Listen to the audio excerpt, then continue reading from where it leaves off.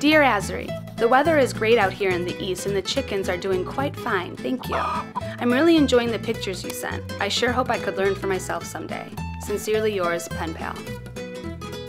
Hello, sweetest pen pal. So happy to hear your interest in shooting film. I've constructed a zine in hopes that it will present the many, many ways to go about creating with instant film. I call it How to Art Instant Film. Let's start with meeting our author.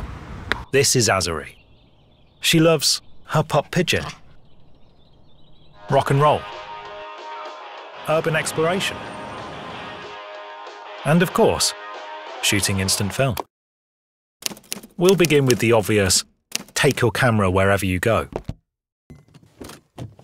You'll always run across all sorts of subjects to photograph, such as people portraits,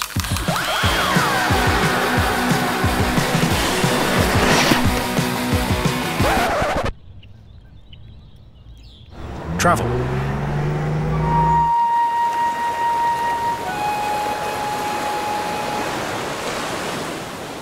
and really everything and anything at all.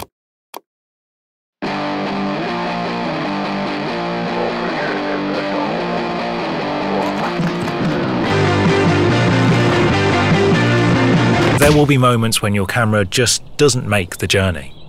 Fret not, because there are options when you find this to be the case.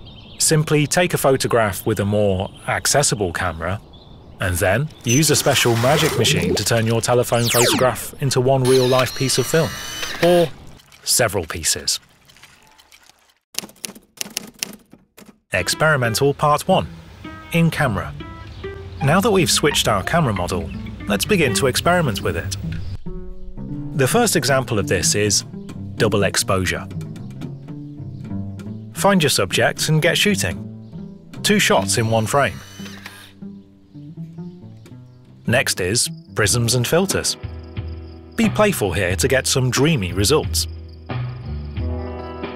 Now just one more favourite of many experimentations, long exposure light painting.